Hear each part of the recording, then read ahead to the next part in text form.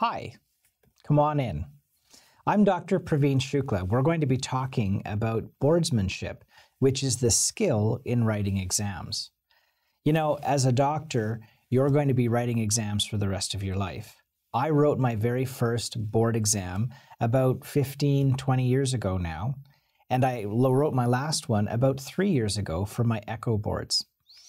We will be writing exams as doctors all the time because we write our board exams, we write our specialty exams, we write subspecialty exams, we write certification exams like echocardiography, for example, and we recertify 10 years later. So 10 years later, I rewrote my uh, internal medicine exams or my echo boards. So learning how to write exams is an integral part of being a doctor. Let's talk about you and your exam. The United States medical licensing exam is probably the first exam that you're going to be writing as, as a medical student.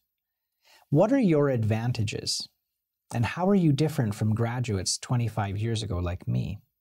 Well, first of all, you're able to process information a lot faster than we were.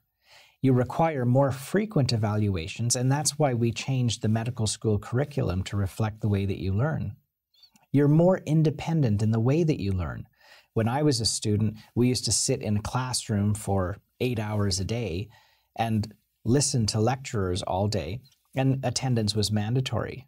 Today, most of you are actually looking at the videos of the lectures and watching them at double speed. You rely on multimedia and video to learn as well. Now, there's a downside to this. You do have a shorter attention span. It's about eight minutes based on the recent research and you're less reliant on reading as a learning strategy because you have grown up with multimodality uh, learning. So where does this leave you? Well, the good news is, is that you have the ability, as I said before, to absorb the complex information much faster than we did.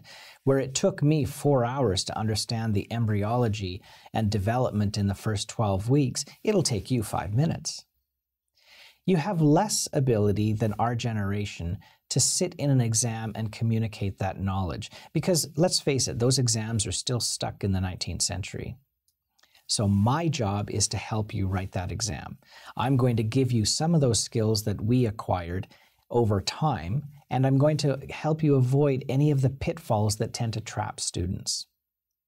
Let's talk about a strategy on how to study for your exams. I think the first step is to take a look at your curriculum in your medical school. Now, start early with your review. Starting in about nine months before your board exam is, is the best, and if possible, that would be the way to go.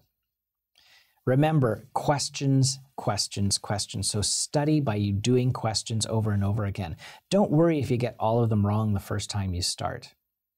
Go back and do more questions later as we add more and more questions each month that will help you study. Now, after you've done all the questions, do them again. Read the question stem again. Now remember that questions may vary, but learning points don't. So you may see a different question asking the same thing, but in a different format. The learning points don't change.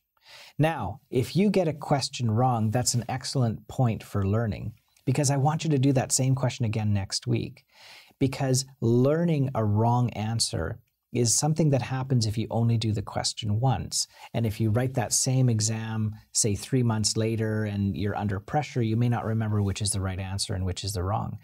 But if you get a wrong answer during practice and you do the same question next week, and you read the answer and you read why all of the other choices are wrong, it will be burned into your brain and you'll do much better on the exam.